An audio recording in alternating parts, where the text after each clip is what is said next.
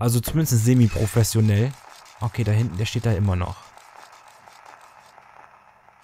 Wir haben jetzt Pistolenmuni gefunden. Das ist natürlich alles sehr schön, aber wir können damit noch nichts anfangen. Also muss ja unser Glück irgendwo hier in der 11 oder da hinten in der 12 sein. Da oben die Uhr ist eingezeichnet. Okay, dass es da nicht weitergeht, nicht, aber da geht es ja nicht weiter. Die Tür von der 201, die existiert ja nicht mehr genauso wie die von der 204. Also hoffe ich, dass jetzt hier bei der 11 oder bei der 12 etwas Schönes auf uns wartet. Ich würde mal sagen, den nageln wir jetzt hier einfach mal weg. Und da hinten kommt der nächste.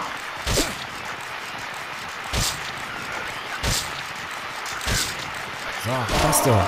Und nochmal. So. Und das ist die... Ja, okay, jetzt hängen wir hier fest. Ah. Und wir werden von hinten voll gekotzt. Okay, wir gehen hier durch. Äh, ist zu Schissel. Die ist auch zu. Oh, toll, hä? Okay. Na komm. Na komm. Und kotz. Und dann kriegst du einen drüber. Okay, dann ziehen wir den jetzt einfach drüber. Ich habe jetzt eigentlich vorgehabt, den erstmal abreiern zu lassen. Und der steht auch nochmal auf. Okay, der hält jetzt doch massiv was aus. Okay, der ist auf jeden Fall jetzt schon mal hinüber, oder? Scheinbar.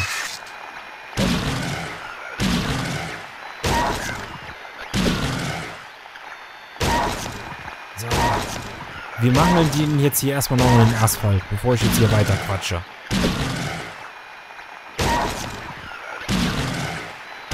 Hält aber echt gut was aus. Also ich nehme zurück, was ich eben gesagt habe, dass die hier die, die, die Reihermischel äh, weniger aushalten. Das nehme ich zurück. Ja, also ich muss mich natürlich jetzt ein bisschen noch hier an die Bewegungsmuster gewöhnen. Weil ich hatte jetzt eigentlich vorgehabt, den erstmal äh, kotzen zu lassen. Also mit dem Schritt nach hinten, den dann eins drüber zu ziehen. Aber wir gucken mal ganz kurz auf die Gesundheit. Nicht auf die Karte, sondern auf die Gesundheit. Die waren zu, aber wie kommen wir denn, wieso und weshalb? Okay, gesundheitlich geht's uns aber eigentlich immer noch ganz gut. Hoffe ich. Aber normalerweise müsste der Bildschirm sich rot färben. Aber wieso kommen wir denn jetzt hier nirgendwo rein? Können wir jetzt irgendwas mit der Uhr machen?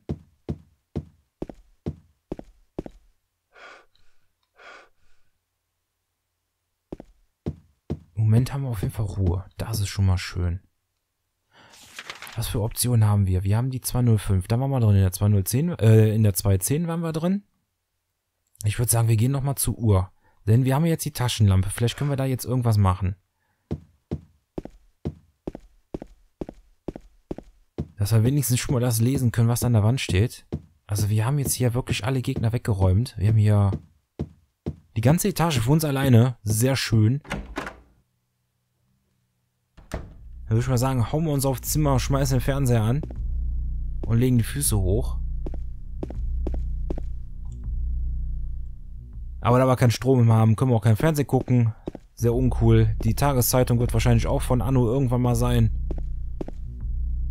So, jetzt würde ich mal sagen, gucken wir uns mal eben hier dieses an der Wand an. Was haben wir denn hier Schönes? Okay, das sind, denke ich mal, Zeiger für die Uhr. Henry, Mildred und Scott. Okay. Okay. HMS. Ich würde sagen Hour, Minutes und Second. Das sind, denke ich mal, dann halt die Zeiger.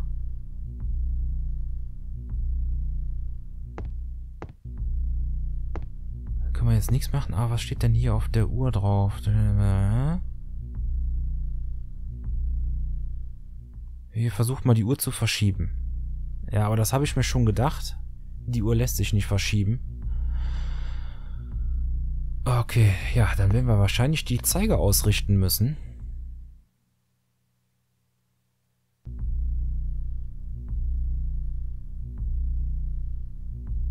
Okay, die ist verriegelt. Wir können die Zeiger nicht berühren. Das ist natürlich schon mal blöd.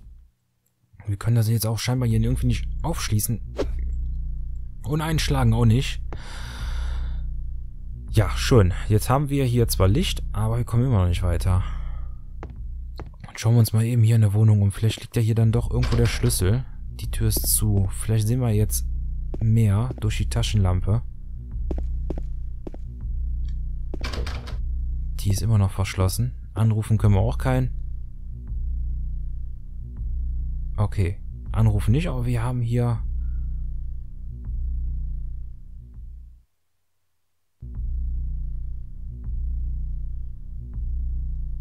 Okay, das hat jetzt hier mit dem Rätsel zu tun, aber telefonieren können wir nicht. Bilder angucken können wir uns auch nicht. Hier in der Küche war ja nichts. Okay, Moment. Wir könnten natürlich versuchen, nochmal zu diesem Müllschlucker zu gehen. Vielleicht können wir ja jetzt dank der Taschenlampe irgendwas machen. Das ist auch völlig normal, dass man hier ein bisschen Backtracking hat, in Anführungsstrichen, aber dass man die Orte mehrmals bereisen muss. Aber ich höre hier gerade kein Radiorauschen, also es kann sein, dass die Gegner wirklich verschwunden bleiben. Jetzt will ich hoffen, dass wir den Müllsack da durchstoßen können. Nö. Können wir noch nichts machen. Mann, James, nimm doch einfach die Latte und äh, schieb das Ding da durch.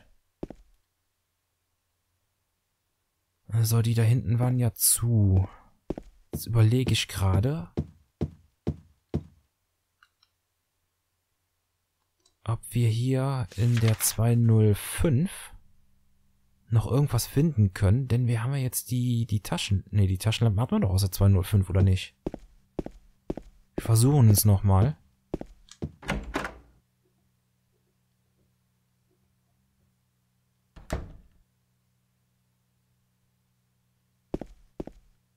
Ne, okay, das war nicht aus der 205, das war die 210.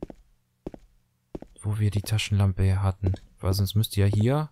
Ne, da ist die Puppe doch. Wollte ich auch gesagt haben, aber vielleicht hat sich ja hier irgendwas geändert. Aber scheinbar nicht. Ja, die, Tür, die Türen hier sind zu. Die ist zu und die ja auch. Okay, Moment. Hä? Weil unten im Treppenhaus... Okay, Moment, wir haben ja noch die dritte Etage, fällt mir gerade mal ein. versuchen es nochmal hier hinten. Aber die Gegner bleiben echt weg. Das ist... Habe ich zu früh gesagt. Da hinten steht wieder einer. Okay, ich würde sagen, wir gehen nochmal zurück. Wir haben doch noch die dritte Etage. Die habe ich jetzt komplett vergessen. Ist ja ein Teufelskreis. Vielleicht finden wir ja irgendwas auf der dritten Etage, um den Müllsack durchzustoßen. Oder vielleicht finden wir sogar einen Schlüssel für die Uhr. Aber da fehlte der eigentlich der Sekundenzeiger. Okay, da geht's runter, also hier hoch. Aber da fehlt ja noch der Sekundenzeiger. Das heißt, wir brauchen den Sekundenzeiger. Vielleicht liegt ja der im Müll. Da ist wieder eine Flasche, aber da können wir nichts mitmachen. Okay, da war wieder irgendein Geräusch.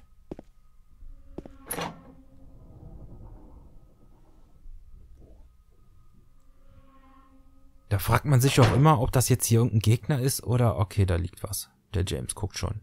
Ob das ein Gegner ist oder ob das jetzt gerade zum Score gehört. Okay, wir versuchen mal einen Schlüssel dran zu kommen. Natürlich stecken wir da unseren Arm durch. Können wir ja wenigstens sehen, was da ist.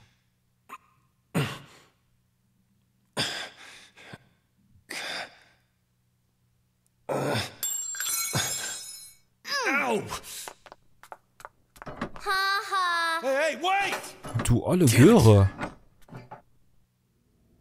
Da tritt die olle Göre den Schlüssel weg und guckt mit dem Haha. Jetzt kommen wir natürlich nicht mehr an den Schlüssel dran. Aber ja, genau, wer war das Kind? Wieso läuft hier ein Kind rum? Ja, den Schlüssel können wir uns jetzt erstmal von der Backe abschminken. So, jetzt gucken wir mal eben. Wie sieht denn hier oben die Etage aus? Okay, der Weg ist versperrt. Das heißt, es bleiben nur die 301 und die 302. Die zwei Räume. Ich will mal hoffen, dass wir da unser Glück finden werden. Drehen die Kamera wieder.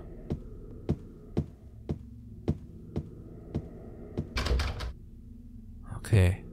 Dann bleibt nur noch ein Raum. Weil das wird ja, denke ich mal, hier wieder ja, irgendein Treppenhaus sein. Was aber auch versperrt ist. Ah, die Tür geht auf. Das ist schon mal gut. Weil ich jetzt natürlich überlege, ob ich irgendwas in der Stadt übersehen habe. Wir hören, dass hier kein Rauschen ist. Das stimmt mich doch schon mal positiv. Und der James guckt nach rechts. Da ist ein Einkaufswagen.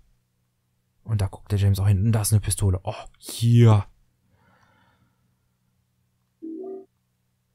So, Pistole. Ähm, Moment. Menü. So, wir 10 Schuss fast die und wir haben 30 Schuss dabei. Das ist sehr schön. Das heißt 40 Schuss ausrüsten, aber selbstverständlich. Obwohl ich jetzt die Befürchtung habe, Moment, nee. Wir nehmen lieber das Brett. Den Holzstock. Denn, äh, ich möchte die Munition echt für entsprechende Fälle aufheben. Weil das hat man auch oft, dass man bei Standardgegnern, wo man eigentlich dran vorbeilaufen könnte oder mit einem Holzscheit eigentlich sehr, sehr gut klarkommen würde, dass man da Munition verbrennt, die einem dann nachher bei irgendwelchen anderen Sachen fehlt. So, die Tür ist natürlich auch verschlossen. Aber wir haben eine Pistole und die ist auch zu. Okay, wir haben eine Pistole. Und das hat uns jetzt was gebracht. Äh, jetzt könnte man natürlich versuchen, mit der Pistole unten das Glas vielleicht aufzuschießen. Sind das alles Einschusslöcher? Sieht so aus, ne? Also hier hat auf jeden Fall dann einer rumgewütet. Da in der Ecke? Das ist alles Einschusslöcher. Okay, der hat auf jeden Fall hier... Hier hat einer mal ordentlich rumgewütet. Liegen auch über Patronenhülsen auf dem Boden. Okay, da wollen wir hier raus. Ja, vielleicht können wir ja doch das Glas einschießen. Obwohl ich das bezweifle. Okay, und da kommt wieder jemand. Weil sonst hätten wir ja sehr wahrscheinlich auch mit der Holzlatte da irgendwas erreichen können. Ah, wer stapft denn da? Also auf jeden Fall keiner in dem Bereich hier. Das Radio rauscht. Natürlich kommen wir immer noch nicht an die Schlüssel ran. Deshalb wieder ab ins Treppenhaus. Ja, ich überlege gerade, ob ich irgendwas in der Stadt vergessen habe. Aber ich kann mir nicht vorstellen, dass hier ein Schlüssel oder der Zeiger von der Uhr in der Stadt rumliegt. Also normalerweise ist es immer sehr lokal. Warum sollte auch der Zeiger in der Stadt liegen? Ist ja nicht so, dass der spazieren geht. Obwohl, wir sind hier in Silent Hill, also sollte man da mit solchen Aussagen vorsichtig sein. Es gibt hier, glaube ich, nichts, was es nichts gibt, äh, nicht gibt, so. So, Le Carte. Wo wollen wir denn jetzt hin? Die 202 ist noch zu. Da werden wir wahrscheinlich auch mit der Pistole nicht wirklich was reißen können. Der Müllschlucker, da werden wir auch nichts machen können. 205 hatten wir ja die Taschenlampe her, also höchstens die 210 oder die 2.8. Ich würde sagen, wir versuchen es nochmal bei der 2.8. Vielleicht hat sich da irgendwas getan.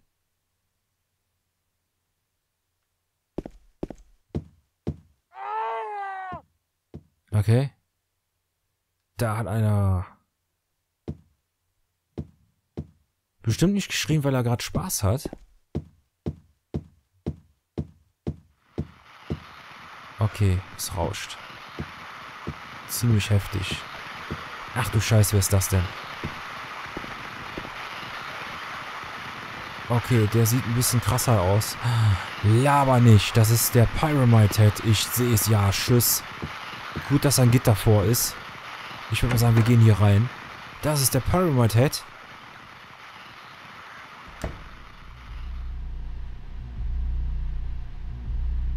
Okay. Wir hören ein Rauschen. Das war vorher noch nicht. Und der Fernseher ist an. Wieso ist denn hier der Fernseher an? Wieso, wie, wo, warum steht der Sessel davor? Und wieso sitzt da einer drin? Und wieso guckt der James nach links? Und wieso stelle ich so viele Fragen? Okay, da liegt ein Schlüssel. Der lag doch... Lag der vorher schon da? Nee, oder?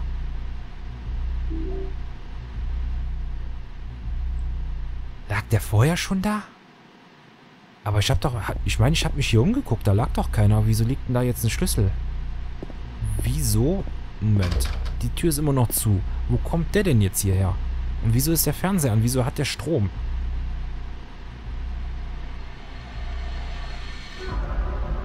Aber der Typ ist so ziemlich hinüber.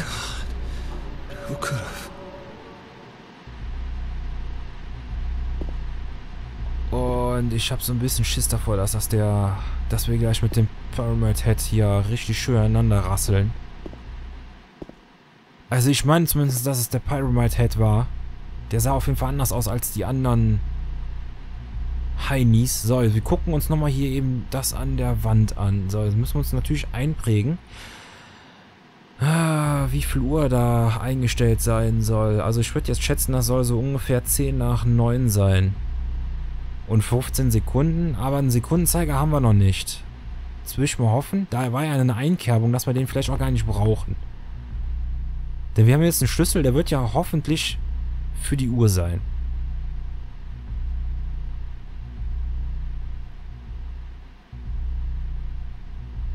Okay, geht nicht auf. Moment. Müssen wir... Ah, jetzt habe ich schon wieder auf die Karte gedrückt. Ah. Äh, so, wir gehen mal eben genau hier rein. Müssen wir vielleicht einen Schlüssel anwählen? 202. Okay, das ist nicht für die Uhr. Sollte man sich vielleicht auch mal anschauen, so ein Schlüssel. 202. Wo haben wir das? Okay, hier hinten. Stimmt, Stimmt, die Tür war ja abgeschlossen. Die war ja nicht versperrt, sondern die war ja abgeschlossen. Jetzt haben wir dafür einen Schlüssel. Okay, alles klar. Ab zur 202. Und dann will ich mal hoffen, dass da vielleicht ein Sekundenzeiger ist und vielleicht noch ein Schlüssel. Okay, der Pyramid Head ist weg.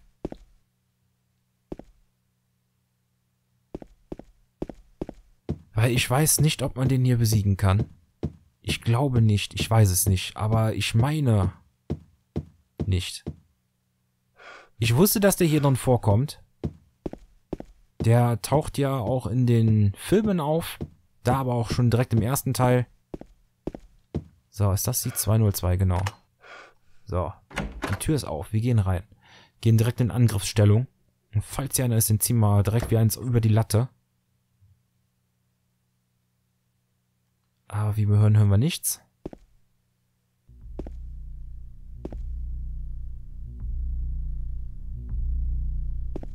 irgendwie auch alles total skurrile Räume. Da ist ein Heildrink. Den nehmen wir uns natürlich mit. Könnten rein theoretisch mal einen nehmen. Einfach mal, um zu schauen, wie viel Gesundheit der auffüllt. Weil so stark angeschlagen sind wir ja jetzt nicht. Verwenden. Okay, jetzt wieder alles grün. Die Bildstörungen sind auch weg. Das ist schon mal gut.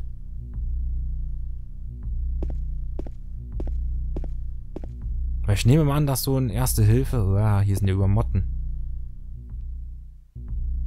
dass so eine Erste Hilfe die Gesundheit wahrscheinlich komplett füllt oder hoffentlich zu den meisten Teil. Da liegt Glas auf dem Boden. Und dass so ein Heildrink ja nur ein kleines bisschen die Gesundheit auffüllt. Da geht es auch nicht weiter. Tür ist versperrt. Okay, dann müssen wir hier in den Raum mit den Schmetterlingen oder mit den Motten. Okay, Schmetterlinge scheinen... Ja, Schmetterlinge auf jeden Fall. Okay, und wir hören ein Geräusch. Nichts Interessantes, das habe ich mir schon gedacht. Da in der Kiste ist auch nichts. Die ist abgeschlossen und da ist ein Loch in der Wand. Und da süftet ordentlich raus. Das schauen wir uns mal eben näher an. Ja, natürlich wollen wir das untersuchen. Ja, so ein schönes Loch. Und der James ist mutig.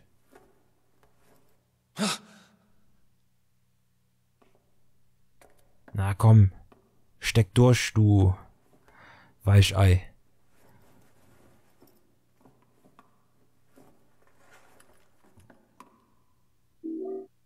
Okay, wir haben den Schlüssel für die Uhr. Sehr cool. Okay, okay. Immer noch versperrt. Die Frage ist, was ist das für ein Geräusch?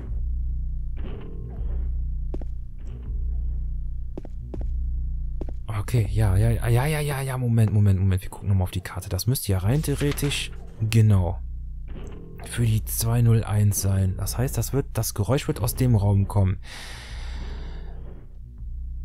Wo ich hoffe, dass auch die Tür, die nicht vorhanden ist, auch zugemauert bleibt. Nicht, dass wir da nachher vorbeilaufen und die ist offen. Da kriege ich ja direkt die Pimpanellen. Weil ich glaube nicht, dass das ein Drucker ist oder ein Kopierer, der da gerade im Hintergrund läuft. So, Schlüssel für die Uhr. Schön. Dann ab zur Uhr.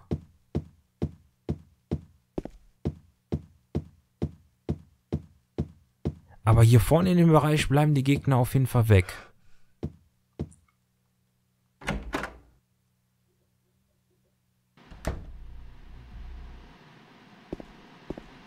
So, der Fernseher ist auf jeden Fall noch an. So, wir gucken uns jetzt direkt die Uhr an. Versuchen jetzt hier mal die Tür aufzuschließen. Okay, was der James nicht von alleine macht, also auch da wieder einen Schlüssel auswählen. Na, Schlüssel auswählen. Ich weiß nicht, warum ich immer Dreieck drücke. Ich glaube, das kommt von Resident Evil 4. Da öffnet man ja das Inventar mit Dreieck, so viel wie ich noch weiß. Wenn ich mich das jetzt hier die alte, alte Steuerung verwenden. Äh, wenn ich mich dann noch richtig entsinne an die alte Steuerung. So. Tür ist auf. So, und jetzt wollen wir hier mal eine Uhr drehen. Also 10 nach 9. Okay. 10 nach 9. Also einen Sekundenzeiger haben wir nicht. Okay. Da. Das müsste es rein theoretisch gewesen sein. Wir haben auf jeden Fall ein Geräusch gehört. Jetzt müsste hoffentlich die Uhr auch zu verschieben sein. Na. Natürlich wollen wir die verschieben. Jawohl, und wir können sie verschieben. Sehr cool. Ja, erstes Rätsel gelöst. Das ist ja schon mal schön.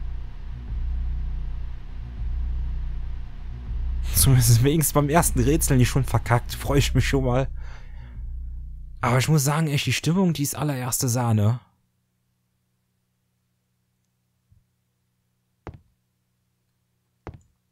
Okay, die Tür ist zu. Aber ich muss auch sagen, die Räume oder hier die ganzen Apartments sind sehr, sehr spartanisch ja, eingerichtet. Und die Tapete hatte auf jeden Fall schon mal bessere Jahre. Oder bessere Zeiten vielmehr.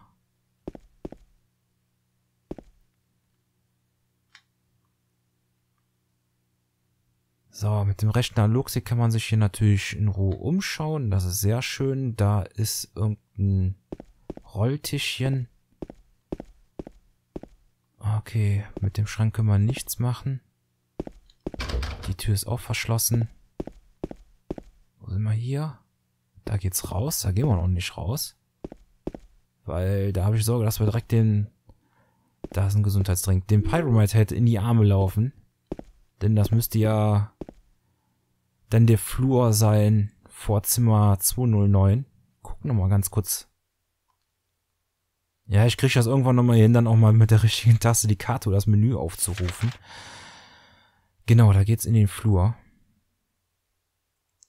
Aber wir gucken jetzt erstmal, was hier auf diesem kleinen Tischchen ist. Da ist nämlich ein roter Zettel, da werden wir abspeichern.